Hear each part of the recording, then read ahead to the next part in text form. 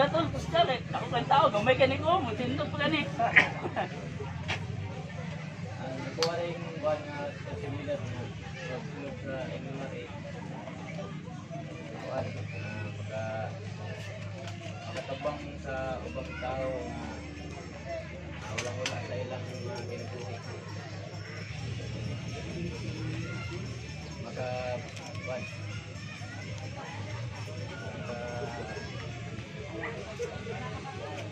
Kuwan, mayong info alang sa kung sa uban na mga rider. So, ako itubag. Ah, tubag po ko Brad bilang responsible sa MMRA as a officer. And then, sakod sa prison order sa Matagusan Central Club. Responsible na ako sa MMRA by ani, ako sa inyo ang tungod karon para mag-orient. Ah, mo pag mata na ko ganin, nagipukaw na akong asawa. So, me, pwede ba ko nimo ubanan? Kay naay meeting sa MMRA, ana, mag-igo ng tagagat.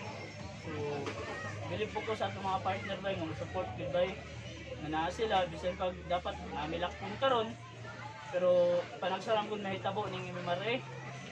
So, salamat maha, insultan dire. So, responsible na ako sa MMRA bay. Pangalagaan ang pangalan sa MMRA. Responsible na ako sa MMRA bay.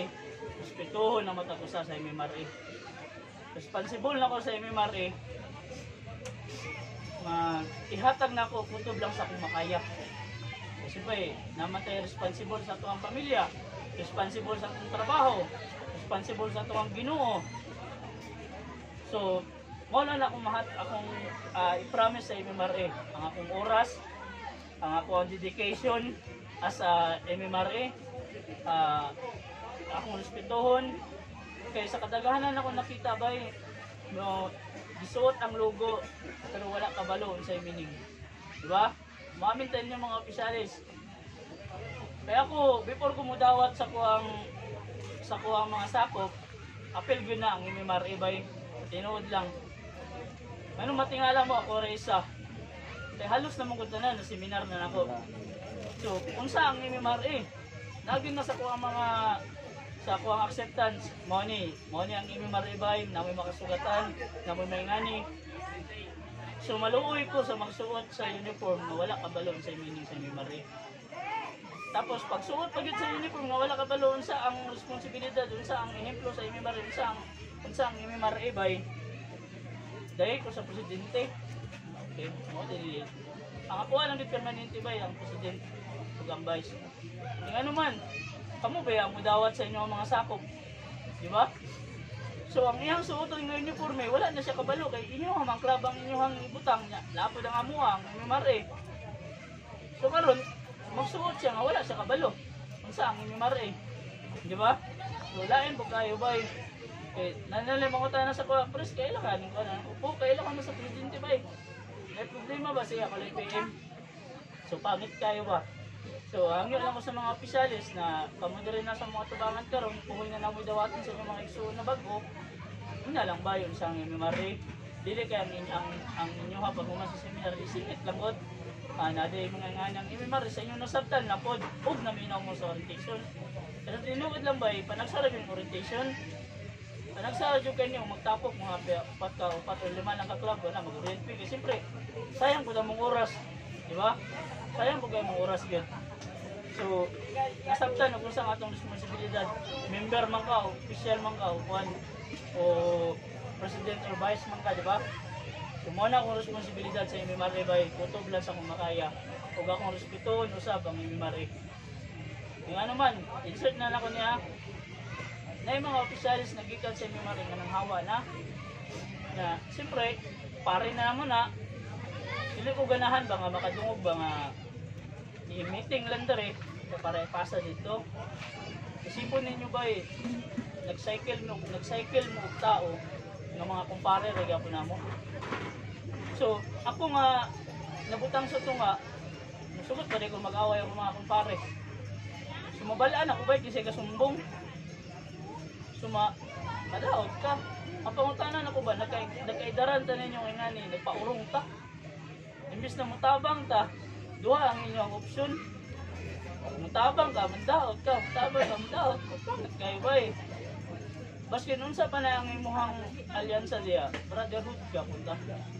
Nihawa man ka, nibalik man ka, unsa ba? Iksun ka punta, di ta magtanong kung taguot sa tuwa mga tuduhan. Sa mga kasing-kasing, gusto ko mga nauna kay Usbo na ako, kana mga nga nga tao, muna akong kaluyan. So wala peace of mind. Nagtubo ang imong adlaw, nagdagan imong edad, pero imong una-una, wala. Nagpabilin sa kadautan ba. Wala man kay tumong, kasi may tumong nimo para dauton ako ni. Di ba, wala pa kayo. Na, mga tanan ako sa inyo, kalaro na ko. Dapat tayo makuha pag dauton na to ang tao, nga atong kauban, nga nakauban na to dati. Di ba? Nasabtan man kayo ng tubag nga wala. So, pangit kay ba eh. Kay, kay bugna na to ni, sunod ang motor club. Dili kay para magpakita pa sa tuwang batasan. You know, sunod ang motor club para natin matunan, natin matabangan. Di ba? Mao gina ang motivation, dili nang motivation para musulod ang tapon ng dako imong ulo. Gusto na ka maging official, gusto na mga, wala problema na ba eh. Doon yung lalim. Dili ba yun? Yan inyo lang daw ito pag-awon sa talikod. Dili maayo na. Natural na na muhawa ta. At ang tagkalaay, natin nalainan. Pero kanang nalainan, pwede man kang naistoryahan. Ayo, di ba? Kaya dili na masolve. Bantod sa kahanturan na di mo na masolve. Kung muhawa ka, panangit og tarong, tukod ka. Kaya ako, Brad, tinod lang, gikan kong Davao Red J Club, 2013. Ah, almost 5 years ko sa lahat. Ah, pagka one year na ako, nag-president ako ato sa 2017. Proud ko gikan ko lahat. Nga naman, dili ko matagaan kusog ang mistura sa nga itong mga tubangan wala sa lahat. Proud ko sa akong grupo dati by Davao Red J. Dira ko may nagkailan niya ayan. Pagtukod sa imong Mario Guerra del Duro. Gamay pa kami sa una bay. Muna nga, ginatagaan ako kanang kanang halaga ba mga bawat nga kanang nakalina ta mo na amigo ta mo ana god dili kay para musulod ka na amigo lagi ta pero mangaway mamunta kay mo raw babae bay Kaya pandaot babae Oy, maglalagod ka ng pangit kayo. Sa pangit, dili ko ganahan na bay. Kung nakikalain na siyang opisyal, okay, na. Hindi ka ganahan, opisyal mo mag-istorya, kapudo wala may mawala. Ayun na chat. Kaya ang tao, isog sa chat. Pero sa personal, wala. So, responsibility mo, ito responsible sa inyo, Mare. Dili ko magsawa, balik-balik ko sa inyong atubangan na bay. Tamo na akong dedikasyon sa inyo, Mare. Kung gusto na ko bay, ang inyo, Mare, ragyan akong ipanindigan. Mora na ang nasa ko uniform. Pag sa, pag responsibility, pagsalig, uh, respeto, uh, pagsalig, trust. Ah, pagsalig,